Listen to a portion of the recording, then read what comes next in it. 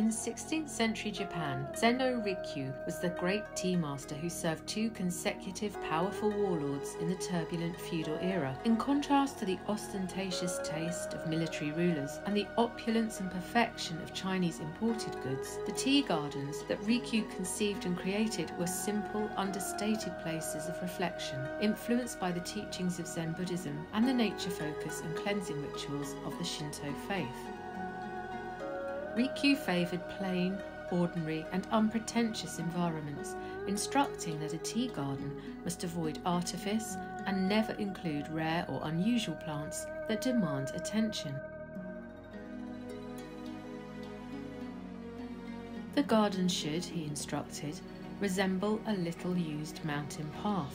The uneven stepping stone path or Tobi Ishi encourages concentration with each step forward, drawing the mind away from the busy world outside to focus on the forthcoming tea ceremony.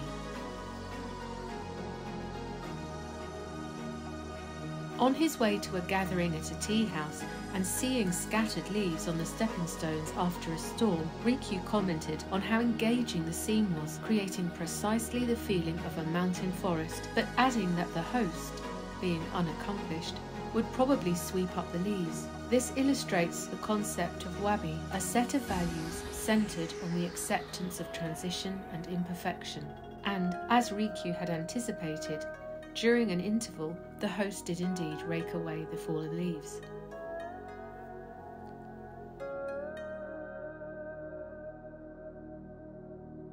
The nobedan, meaning stone carpet, is a more formal path. This demands less attention than stepping stones, allowing the visitor to take in the wider vista.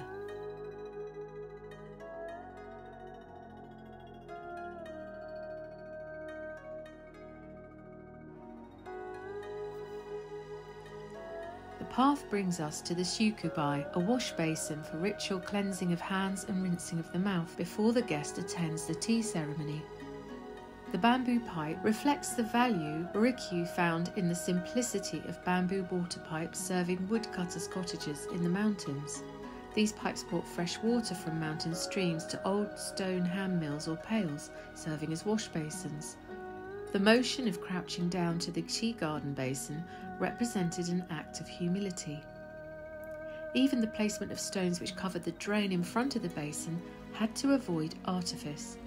The stones Rikyu reportedly said should be dropped from a container with closed eyes. Then, after some slight rearrangement with a cane, they should be left as they are. Behind the basin stands an Oribe stone lantern, its pillar buried in the ground. It was designed specifically for use in water basin arrangements. Furuta Oribe succeeded Rikyu as tea master and who was once his favoured pupil. The Oribe contrasts with the larger, more ornate lantern at the entrance to the tea garden, which is a Kasuga lantern. The name comes from the Kasuga Grand Shrine, an ancient Shinto shrine established in the 8th century. Both lanterns would have had an oil lamp placed inside to light the way after dark, a very necessary source of illumination because one of the standard times for a tea gathering, of which there are seven, is in the pitch black of 4 am.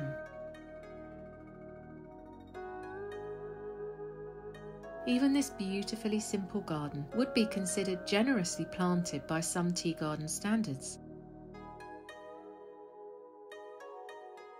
One 16th century design was reported to comprise of nothing but one single tree and mossy ground. Where rocks were used, they were to be placed discreetly and should not have any distracting features. On one occasion, a tea master hosting a gathering was complimented on the layout of the rocks in his garden. Once his guests had departed, the tea master immediately went outside to rearrange the rocks.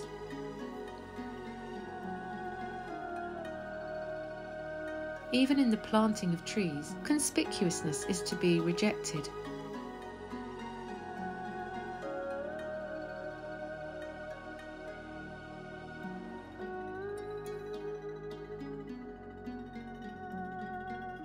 However, at the edge of Kew's tea garden, there is one particular tree that may capture visitors' attention, particularly when the wind blows and it seems to beckon you over. This is a Hinoki cypress, planted by their Imperial Highnesses Prince Akihito and Princess Michiko in 1976, who subsequently reigned as Emperor and Empress of Japan from 1989 until 2019. Hinoki trees are sacred to the Shinto faith, and the lemon scented fragrant wood is used in the building of palaces, temples, shrines, and structures, including the ornately carved gateway in the Harmony Garden at Kew which we examine in more detail in our next video about the Japanese landscape.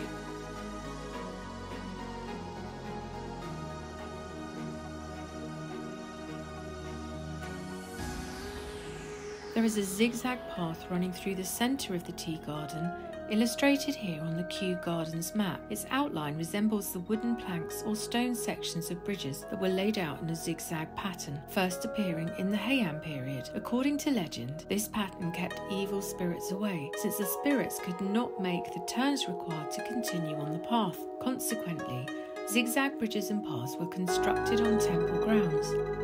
Traditionally, the term Yatsuhashi is used, which means eight bridges,